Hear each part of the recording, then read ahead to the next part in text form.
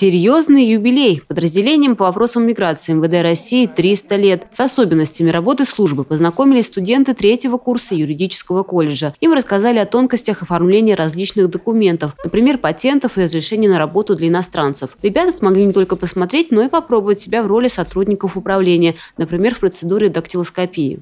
Ну, так как мы учимся в юридическом колледже, я думаю, что такие знания обязательно пригодятся, так как в какой-то степени это наша сфера, и очень многие юристы работают в миграционной службе, поэтому это хороший очень опыт побывать и увидеть все, узнать, как это все работает изнутри.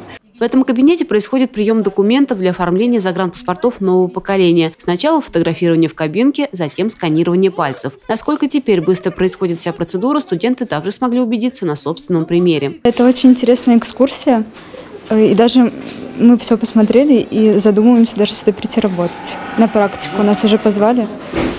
Вот, может, сюда придем.